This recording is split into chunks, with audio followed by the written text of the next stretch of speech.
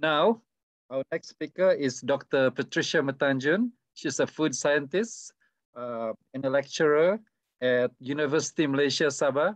And her topic today is R&D and state poten uh, the state revenue potentials for uh, Bornean seaweeds. Okay, thank you, Richard. Uh, let me share my slide.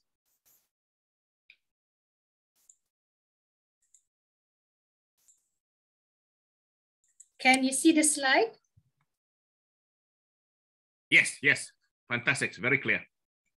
Okay, um, you hold on for a while because I, I tried to convert to slide mode. Um, okay, all right, Can uh? Okay, so um, good evening, everyone, uh, or good morning in some places. I'm Patricia. I have to declare that I am uh, not a chef. I'm a food scientist uh, from University Malaysia Sabah, and I'm based in Sabah.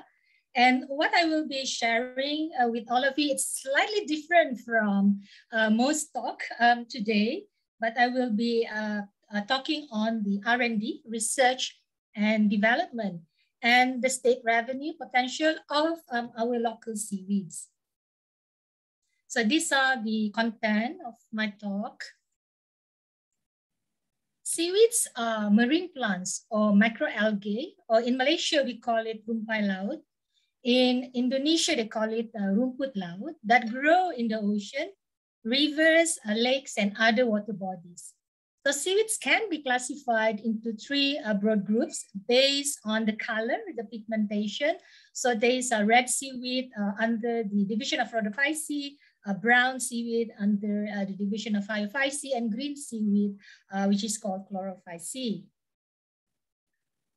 So seaweeds have uh, been used as food for centuries in China, Japan, and Republic of Korea.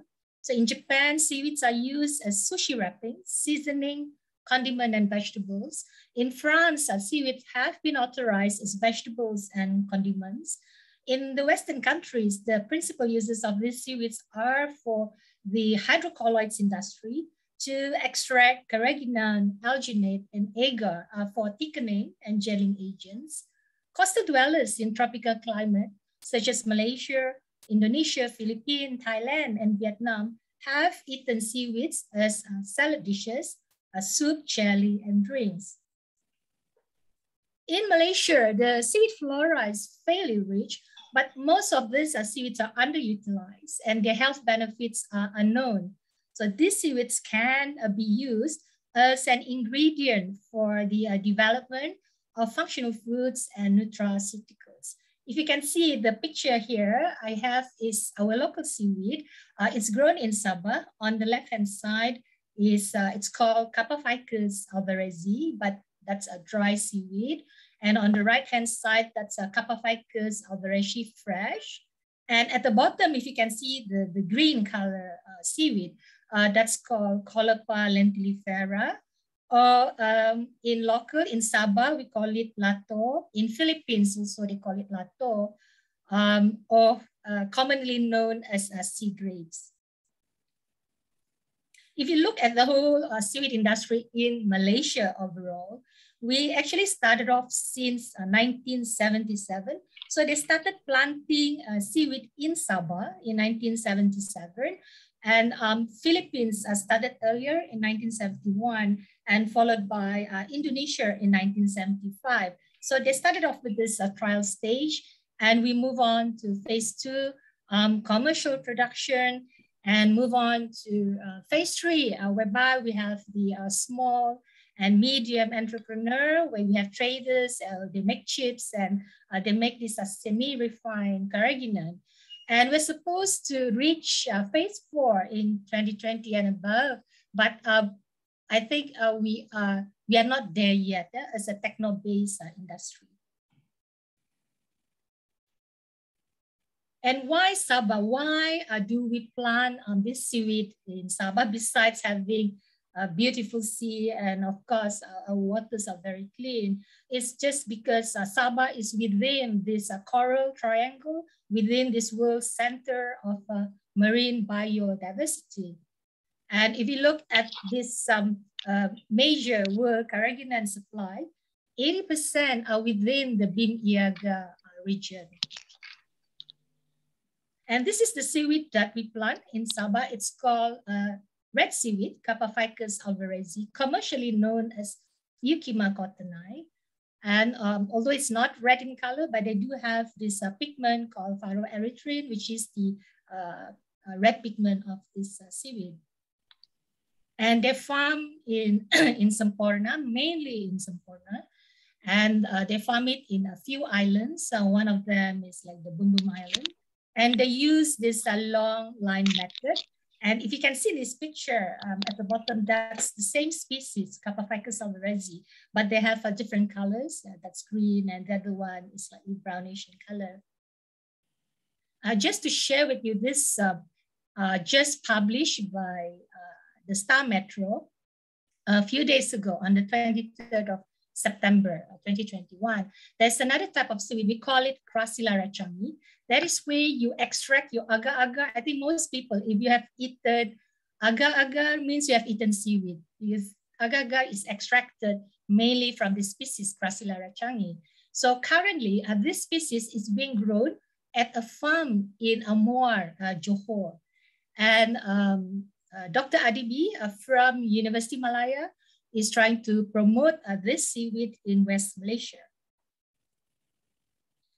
Here, I will just uh, maybe touch on the investment requirement on seaweed farming. I'm not an expert in aquaculture, uh, but I, I would like probably just share with you uh, some data that I got. So if you're interested to know more about uh, farming, uh, cultivating this particular species of seaweed, Kappaphycus alvarezii, you can get this book uh, by Mardi. it's called Industri Rumpai Laut Negara. You can actually just buy it online. And this was actually shared by one of the author, uh, Azhar Kasim. And uh, just to share with you, this is from the book, whereby if you were to invest, um, you want to grow this seaweed in uh, Semporna, because you can grow it in Semporna, Kunak, and Tawau. Um, the capital, how much do you need minimum? Um, if it's in Semporna, it's only about like 2,000 ringgit. But maximum, it depends how big, you know, the acreage, it can go up as high as 200,000 ringgit. And the production of seaweed, um, minimum, say if it's in Semporna, it's around 0.42 tons per hectare per year, or it can go as high as uh, 4.80 ton uh, per hectare uh, per year. And uh, this is the uh, NPV and also the, uh, the net present value and also the IRR, which is the in, internal rate of return. And if you look at um, uh, here, uh, how much is the IRR? If you plan it in Semporna, uh, how much is the return you can get on average is around 42%. Uh, in Kunak is around um, 70, you know, 77, 78%. So that's higher. And in Tawau, uh, on average is around 67%. Uh, but then again, it all depends. What are you selling? If you sell just the raw material, just the raw metal, just the, uh, fresh seaweed, uh, the dry seaweed, then the value is only around maybe two ringgit, 60 cents to you know, five ringgit per kilo. But if you process them into chips, into SRC, into refined carrageenan, the, the value can you know, go up high as 80 ringgit to 100 ringgit per kilo of our food grade. And of course, you can use that as an ingredient to you know, make a more product. And this, uh, I got it from the uh, Sabah Fisheries Department. UMS, uh, University Malaysia Sabah, uh, strength on this uh, seaweed research is because we do have uh, ongoing and also uh, completed research projects on seaweeds. I'm talking about the local seaweeds since 1999 until now. So we have like 20 years of experience and also expertise. And our research achievement, uh, we have done quite a, uh, a number of um, innovations, you know, products, and we have won quite a number of uh, national and international level awards. And the facilities we have at the Faculty of Food Science and Nutrition at UMS, we have 26 laboratories. And also we have a pilot and we have published our findings in books, journals, bulletins, and conference uh, proceedings. here and in this talk, I will share with you with some of our uh, in-house research and development on Sabah seaweeds, some of our food innovations and cover studies like nutrients and bioactive compound study, as well as using animal model, um, basically in rats model and uh, study in human. Here, I would like to share with you our R&D on the uh, nutrient composition and also the cholesterol lowering properties of this use, uh, seaweeds using animal model. And these were the uh, research objectives. And this were the, uh, it's the same species, it's Kappaphycus but it has different strain. Um, except for the last photo, that's another type of uh, species of uh, called Eucheuma denticulata. Uh, this is found quite a lot also in Sabah, but currently we do not, you know, do not really plant uh, this particular species. But if other places like I think India and also uh, Africa, some African countries, they, they like to plant uh, this particular uh, species, Eucheuma denticulata. So what we have in Sabah is mainly uh, ficus alvarezi, but as you can see, it's the same seaweed, but it has different colors, you know, some red, green, but they are all the same species, but are different um, varieties. Uh, besides the ficus alvarezi, we also study other uh, types of seaweed, uh, basically tropical seaweeds uh, from the uh, red seaweed, green, and also the brown seaweed. So these are the various uh, seaweed. And some of the seaweed you actually can find in beaches. Um, if you walk maybe in Tanjung Aru, you can actually find some sargassum species you know, by the beach. And the results, we have published some work on antioxidant activities and phenolics content uh, of these eight species of seaweeds from Borneo. So that was like my first paper on um, our Sabah seaweeds. And it shows to have a very good um, antioxidant activities as well as its phenolics content. And we've also published our works in uh, International Journal of Pharmaceutical and Phytopharmacological Research on uh, antioxidant activity in these uh, commercial seaweeds of Sabah. And we've also published on the nutrient content uh, of Eucheuma cottonii, now known as Kappaphycus uh, alvarezi, Caulerpa lentillifera, and also Sargassum polycystum. And we found that these uh, seaweeds actually have very, very high uh, dietary fiber. And besides dietary fiber, um, it also has a very good uh, minerals and trace elements of these seaweeds.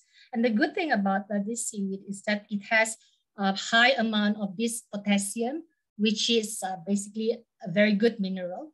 But a good thing also with this seaweed is that it has low amount of sodium, which is you know not so good uh, mineral that gives you very low uh, sodium to potassium ratio. So this is good because if you were to develop food products, say for a hypertensive patient, somebody uh, with problem with hypertension, then this ingredient will be a very good um, candidate yeah, to make the product. So besides that, uh, we also look into the chemical composition and also the physical chemical properties of uh, the red seaweed. I mentioned just now that we are planting now in Muar, yeah, Johor, Gracilaria changii. So this seaweed um, uh, has shown to have very high dietary fiber. It's around nearly 65% and very, very low in fat. And the sodium potassium ratio is also very low. And uh, this, uh, the physical chemical properties of this seaweed, namely, if you look at this uh, water holding or swelling capacity, were actually comparable to some commercial fiber rich products. So what does this study suggested that this particular seed could be used as an ingredient to improve the nutritive value and also the texture of uh, functional foods for human consumption. Besides that, we also look into the uh, antioxidant, the hyperlipidemic properties, because antioxidant currently is the buzzword. If you do a study on antioxidant, and if you found that the particular food has or that particular plant has high antioxidant activities, then uh, there's, there's a lot of things that you know you can actually uh, study or use it for. And uh, what we did is that we uh, tested uh, using Sprague Dawley rats and we found that this uh, particular seaweed does lower your plasma lipid, especially the cholesterol. So um, it's uh, even the bad cholesterol, yeah, LDL. So up to even 30 to uh, 40%. Uh, besides that, we have also published uh, some of the works on the histopathology uh, with Nova Science publishers uh, in New York. And just to share with you, this is the photomicrograph of the rat's liver after necropsy. And it shows that the, the normal morphology of the liver in normal diet means if you eat uh, just a, normal diet or you eat normal diet just uh, seaweed alone means you are normal. Um, it shows a normal morphology. And if you, uh, the, the other slide shows normal morphology of liver um, in rats that is actually fed with very high cholesterol and very high fat diet, which is about 20%. But you supplement that um, diet with seaweed. And at that time, we tested in three uh, different seaweed, all from uh, Sabah, and it shows to have normal morphology. So what does it, if you, um, on the right-hand side, you can see that this is diet without seaweed, but rats fed with very high cholesterol, high fat diet. And it shows to have severe uh, fatty degeneration. So this seaweed can actually protect. So you can actually see if you uh, put in your diet with this uh, seaweed, it does protect those, um, uh, those uh, taking very high fat diet and high cholesterol. Uh, besides that, we also look at the, the rats uh, heart, you know, the um, after necropsy. So it also shows a normal morphology of the myocardial fibers observed in normal and normal with seaweed, and also those high cholesterol, high fat diet, no rest, but supplement with this uh, particular seaweed.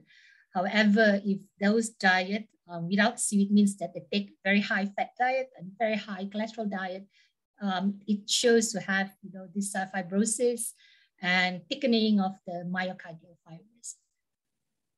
And um, we have also published our work in Journal of Functional Foods. And in conclusion, what it means is that these uh, seaweeds exert a protective effect in mitigating your cardiac, your hepatic, uh, and renal kidney abnormalities in cholesterol, fat-rich uh, fat rats. So presence of uh, perhaps maybe the high dietary fiber, especially soluble fiber, and the omega-3 like EPA and other antioxidant compounds like polyphenols, uh, vitamin C, vitamin E, uh, carotenoids, flavonoids, and uh, selenium may probably contribute to this cholesterol lowering and antioxidant efficacy of these seaweeds. We have also done some work on anti-obesity, and we found that it has some anti-obesity of this particular brown seaweed, the Sargassum polycystum, and perhaps maybe because it does have this uh, particular uh, pigment uh, compound called uh, And we have also done uh, some work on uh, anti-cancer studies on our local seaweed. And what we did was to look into various extracts from you know, the red seaweed Kappaphycus alvarezii and the brown seaweed Sargassum polycystum in five uh, different cancer cell lines using MTT assay and we tested in a breast cancer, uh, uh, liver cancer, uh, cervical cancer, and also colon cancer. And we tested in uh, using various uh, extracts from these two species of seaweed. And that's uh, my student Shazana who's doing the work, who did the work. And we hope to publish this finding soon. And we've also done some work on a clinical trial looking into just few years back, um, uh, maybe three years back, we started with this uh, project because we have moved on from you know the chemical study, the nutrient study. We've done uh, all those works, and we move on to um, animal model, and now we move on to human subjects. So our first project is to look into the blood pressure lowering effect of a particular species of seaweed in human subjects. And why blood pressure? Why hypertension? Because uh, 7.5 million deaths you know, per year is actually caused by hypertension. And what we did was to convert it into powder and we incorporated it into bread and we did all the food analysis, sensory, uh, we test all the you know, compounds, the antioxidant. And finally, uh, what we did was to investigate, uh, we did a clinical study to investigate the blood pressure lowering. And this uh, particular species, Sargassum polycystum, what it does is that it uh, increases the dietary fiber and also the mineral content. And the alginates, which is a presence in the seaweed, also improve the flow handling property of the bread.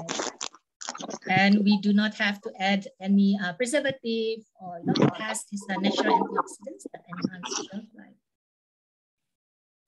Um, just to show you the clinical intervention where we did uh, in stage one, um, they, what they did was they take this seaweed bread for four weeks and after four weeks um, in group A, it shows to lower the diastolic blood pressure.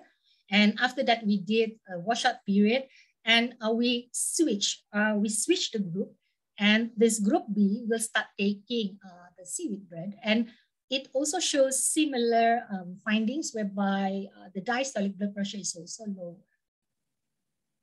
And just to share with you some of our R&D on food innovations, uh, food product development in this uh, local seaweeds. So at the Faculty of Food Science and Nutrition at UMS, we have uh, developed many, uh, I would say many seaweed-based uh, food and drinks products from our local seaweeds uh, on laboratory scale, small scale, and also pilot plant scale. Pilot plant meaning that um, uh, it's bigger than a lab scale, but it's smaller than industry uh, scale. As you can see in the picture, this is uh, uh using, you know, this uh, jelly candy using our local seaweed, Kappaphycus alvarezii.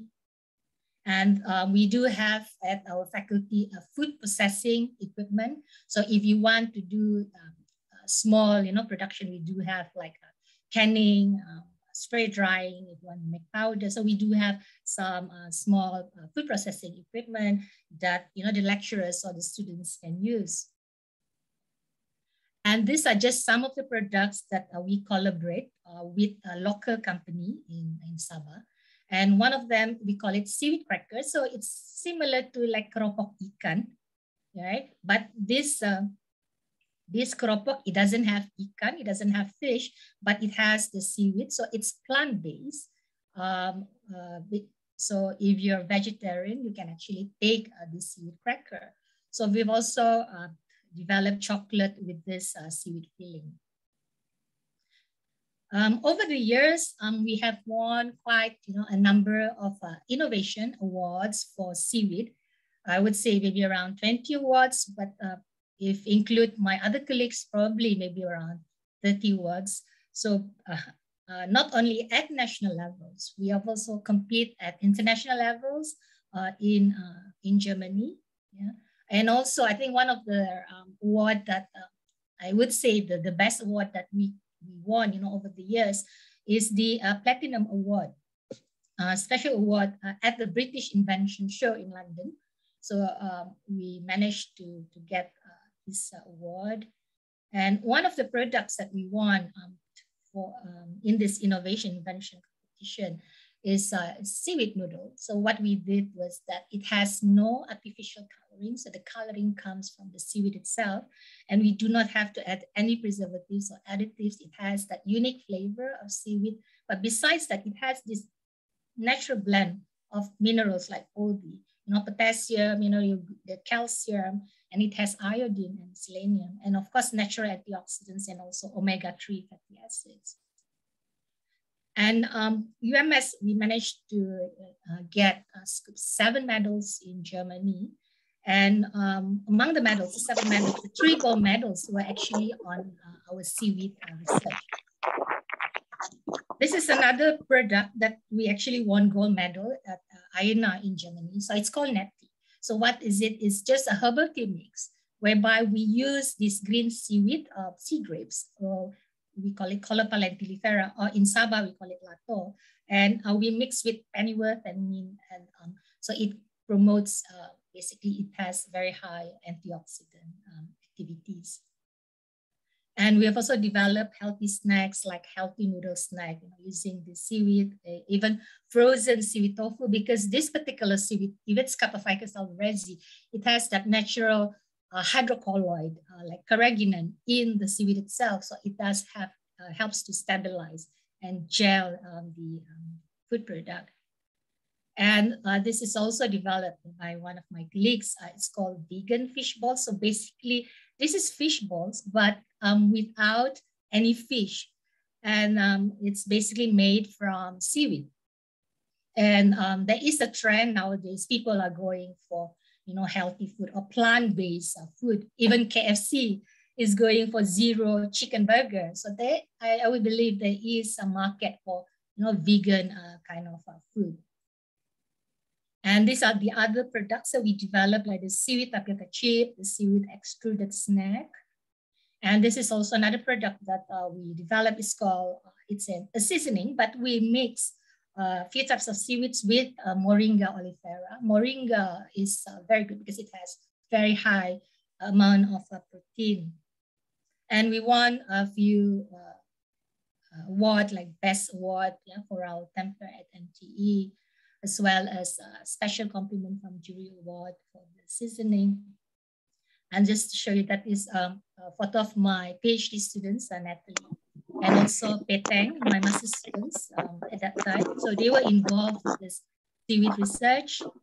And this is the product that we won at uh, BIS in London. So basically what um, the tempeh is, the, uh, the, the seaweed is actually from the sambal. And uh, for that uh, product, we won the Anugrahas Platinum uh, International Invention of the Year Award for Industrial uh, Classification. So uh, we actually uh, collaborate with Adabi for that product. Adabi is one famous food company in Malaysia. And this is the other product that we developed using brown seaweed. And that's my student's project, IDA, which is tested on pre-hypertensive uh, human subjects. And uh, we won silver medal at MTE in 2018. And this is uh, the seaweed extract um, uh, we tested uh, for the anti-cancer um, studies. So that's uh, Shazana, another student. And just to let you know that just recently in April this year, we have signed an MOU with an Australian uh, biotechnology-based uh, company uh, through SCU Southeast Asia um, to develop to develop food products from sea grapes, which is the lentillifera. So we hope to take off this project soon. Oh, yeah. And what are our uh, future research works? We hope to do more uh, bioactivity studies of other or new species of this red, green, and brown. And we're talking about tropical seaweeds. Uh, tropical seaweeds means seaweeds that grow in tropical countries. They are very different from uh, nori, nori that you find, you know, those Japanese seaweeds. Japanese seaweeds can't grow here. So they are temperate seaweed. So our seaweeds are different. Uh, basically by taste is different, the compounds are different. So we hope to develop a new uh, more new functional foods. Functional foods means food with health benefits. And that's the trend nowadays. People are now health conscious. And because of the COVID-19 pandemic, I think more people are going for food that boosts you know, immunity, food that is healthy. So we hope to develop uh, more of those foods. And of course, we try, we will be best if we can do efficacy study, uh, meaning that we do clinical trial uh, using human you know, diet, dietary intervention trials. And uh, what are we looking for? Basically, we're looking for more research fundings because doing research is actually not cheap. Um, uh, there's a lot of um, uh, you know, costs involved. And uh, of course, we can't rely so much on government grants nowadays. It's not, you know, it's not, yeah, it's it's not that much anymore. It's getting less and less every year. And we hope to have more uh, university industry strategic partnership, what we're doing with like something like what we did with that Australian firm, whereby we try to you know, work together. Um, uh, we will have some matching grant and we hope that uh, we can work with them uh, with the industry themselves so we know what does the industry really wants yeah? and hopefully to commercialize uh, more of this uh, food innovations from our local seaweeds. So with that, uh, I would like to take this opportunity to thank uh, Ministry of Science, Technology, and Innovation of Malaysia, MOSTI, for the Science Fund grants, the uh, Ministry of Higher Education for the FRGS grants, for the ERGS grants, Prof. Suhaimi uh, from the Seed Research Unit in UMS, um, my collaborators from UPM, uh, collaborators from Borneo Marine Research Institute at UMS, the Sabah Fisheries Department, my research collaborators from the same faculty, uh, Dr. Ismail, uh, Prof. Chai, uh, Prof. Sharifuddin, now with the same, Dr. Asmadi, Dr. Lee, Dr. Mansur, Dr. Rosni, Dr. Yasmin, Dr. Akmar, and also Dr. Walina. Uh, my collaborator, uh, Dr. Tan, who is a medical doctor from the Faculty of Medicine and Health Science, uh, Dr. Fazli with UTHM. He does a lot of work with anti-cancer works. Um, our postgraduate students, uh, Mekeng, Peteng, Amanda, Afsan, Roy, uh, Suzalina, Aida, Shazana, Natalie for, for their projects on this uh, seaweed research. And last uh, but not least, um, all the undergraduate students of the Faculty of Food Science and Nutrition, UMS, who were involved with the food product development from these uh, local seaweeds. So with that, uh, thank you very much. And that's all from me. Thank you, Dr. Patricia. That was fantastic. Um, uh, we, we would uh, hold all the questions for you okay. until the end. Right. right. And, no and now, uh, thank you so much again. Uh, okay. we are, now we, we're gonna move